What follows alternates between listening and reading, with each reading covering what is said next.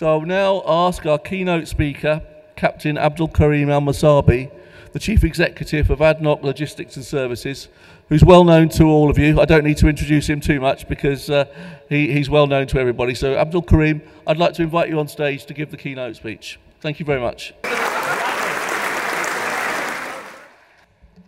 I would like to start by thanking the TMS uh, conference organizers for inviting me to present today and to participate in this insightful discussions, which comes at a pivotal point, as Clive has have, have highlighted, for tanker sector. And I think uh, today we have a very busy agenda ahead of us with many key trends that are quite literally taking our industry by storm, if I would describe it. The tanker industry, despite all the global challenges, is powering ahead. As our industry reaches new highs, it is important to reflect because the road ahead is not an easy one to travel. When we met this time last year, the global tanker fleet growth shrank to its lowest level since 2018 to just 2%. The crude sector was massively impacted and the majority of crude tonnage was forced to operate at sub-zero levels for a long time. At that time, I could see a lot of doubt around the room and around the industry.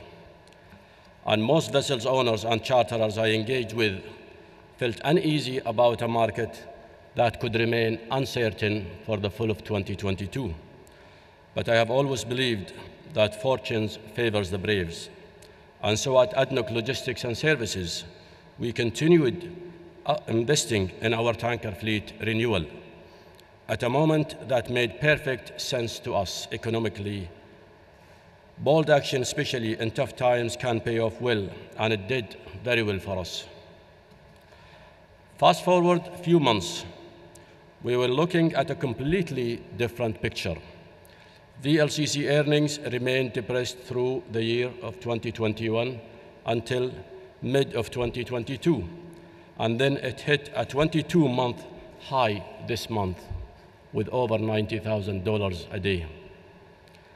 The sustained high rates are leading to a further improvement in sentiment going into the final quarter of this year, and several dynamics are propelling the tanker market to highs not previously anticipated and we are seeing the strongest market in decades.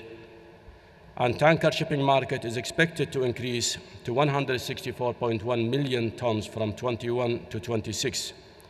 And the market's growing momentum will accelerate at a CAGR of 4.59%.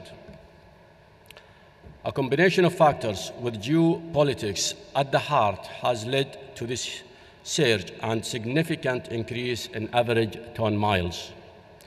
Changing global trade flows have increased sailing distance and ton miles, and we are seeing a complete different change in the routes today, east, west, and even from west to the Middle East as well. These are completely new for us. Another actor in the global trends is China's economic performance, and compared to 21, China's total import have remained flat. Excessive COVID controls have impacted mobility and production. Europe might see a warmer than usual winter, and that can impact demand for fuels in the critical months ahead. But while uncertainties remain, I believe that everything points towards a solid strengthening of the crude market in 2023 and higher freight rates, time charter rates, and second-hand ship prices, which we are actually seeing as of today. We are firmly on the rise, and this gives us a bandwidth to examine the bigger picture. There is a general expectation that global oil demand and its transportation will likely peak within the next 10 years. And ADNOC's position on this is clear. We need continued investment in traditional energy sources and by default their transportation to be able to fund the energy transition and reduce emissions. This sets the tone for ADNOC Logistic and Service Direction, and our mandate is very clear. Maximum energy, minimum emissions. It does not need to be one or the other. Our industry is often seen in extreme terms, boom or bust, spikes and plunges. This is very much our normal life. Right now, tanker supply and demand dynamics looks very positive, with the best fleet supply fundamentals seen in more than 25 years. We do not know this will change, but right now we have the ability to think ahead and invest in mitigating some of the existential issues facing us.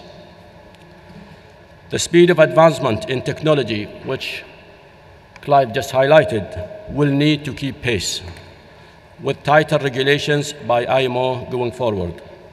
With increased regulations over the coming decades, research efforts will need to remain robust and global shipping industry must continue to fund these efforts, which could accelerate a te technological breakthrough in the shipping industry. Only then we can start building a global marine sector that looks very different from that of today, and one that defines not only our future, but also our legacy. Thank you very much.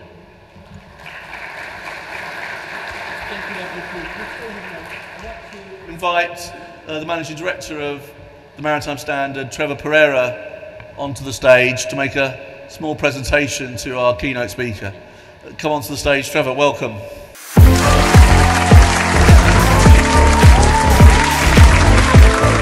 we can have all the today's speakers onto the stage and we can have a group photo now